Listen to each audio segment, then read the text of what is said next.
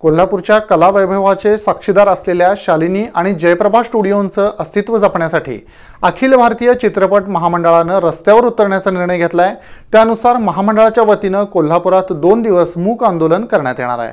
मराठी चित्रपटसृष्टीचं माहेरघर असलेल्या कोल्हापुरातील जयप्रभा आणि शालिनी या पंच्याहत्तरी पार केलेल्या दोन्ही स्टुडिओचं अस्तित्व नामशेष होण्याच्या मार्गावर आहे.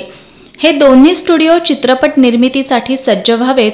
या मागणीसाठी अखिल भारतीय चित्रपट महामंडळानं आज सोमवारी कॅमेरा मानस्तंभ परिसरात मूक आंदोलन करण्याचा निर्णय घेतला होता. मात्र पोलिसांकडून या आंदोलनाला परवानगी नाकारण्यात आली होती.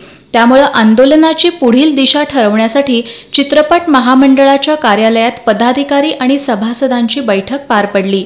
या बैठकीत दोन्ही स्टुडिओंसाठी चित्रपट महामंडळ ताकदीनं पाठपुरावा करेल प्रसंगी न्यायालयाचे दरवाजे ठोठावू असा निर्णय घेण्यात आला.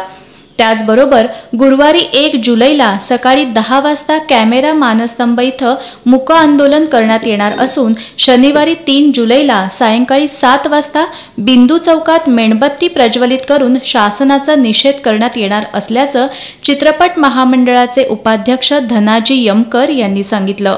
या बैठकीला रणजित उर्फ बाळा जाधव सतीश बिडकर अर्जुन नलवडे अजय कुर्णे राहुल राजशेखर इम्तियाज बारगीर अरुण भोसले चोपदार अमर मोरे स्मिता सावंत मांढरे बबिता काकडे संग्राम भालकर बबन बिरंजे रोहन स्वामी आदी उपस्थित होते.